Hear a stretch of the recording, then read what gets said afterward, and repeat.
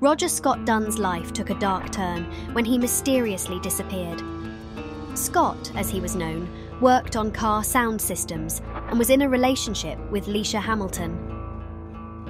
On May 13, 1991, he fell ill at a friend's party and never returned home. Subscribe and watch the full story on our channel.